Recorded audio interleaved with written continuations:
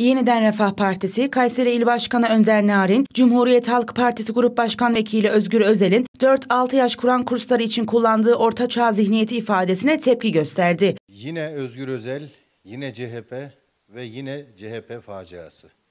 Ya Allah'ınızı severseniz, siyaset üslup meselesi, siyaset omurga meselesi.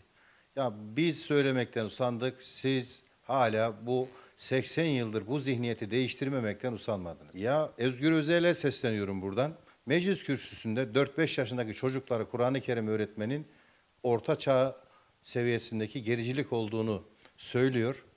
Ama ne hikmetse 4-5 yaşındaki çocuklar ben e, burada Kur'an öğrenirken e, nasıl bir gericilikle karşı karşıya onu açıklamıyor. Size birkaç soru sormak istiyorum Sayın Özgür Özel burada. Diyorum ki Madem 4-5 yaş, 6 yaşındaki çocukların Kur'an öğrenmesi sizi bu kadar rahatsız ediyor, gericilik olarak görüyorsunuz.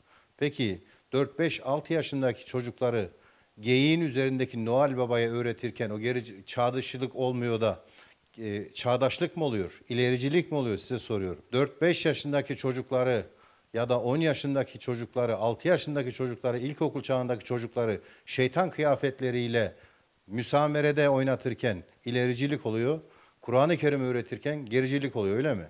Siz kusura bakmayın bu zihniyeti değiştirmediğiniz müddetçe 80 yılda geçse, 180 yılda geçse bu millet size oy vermeyecek ve sizi iktidara getirmeyecektir. Çünkü sizin bu yaptığınız açıklamalar zaten genel başkanınıza tezat e, oluşturuyor.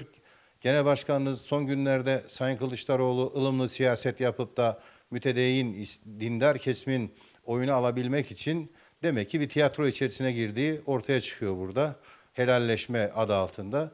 Dolayısıyla 28 Şubat zihniyetindeki hala aynı devam eden zihniyet hiçbir zaman bu ülkede iktidar olamayacaktır.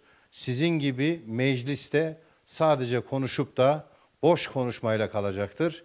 Muhalefette bırakacaktır. Muhafazakar insanlar bunu görecektir ve CHP'ye aldanıp da geçen de söylediğimiz gibi yağmurdan kaçarken doluya tutulmayarak size oy vermeyecektir. Yeniden Refah Partisi geliyor. Bekleyin, göreceksiniz. İnşallah siz oyalanırken yeniden Refah Partisi iktidara gelecek ve bu sizin zihniyetinizi size geri iade edecektir. Kesinlikle şunu söyleyelim. Yeniden Refah Partisi olarak biz geldiğimiz zaman da sizin gibi ideolojik zihniyetlerle, Kur'an-ı Kerim'le uğraşanlarla veyahut da hiçbir şekilde görüşüne saygı duymadığınız kişileri ayrıştırdığınız kişilerden olmayacağız.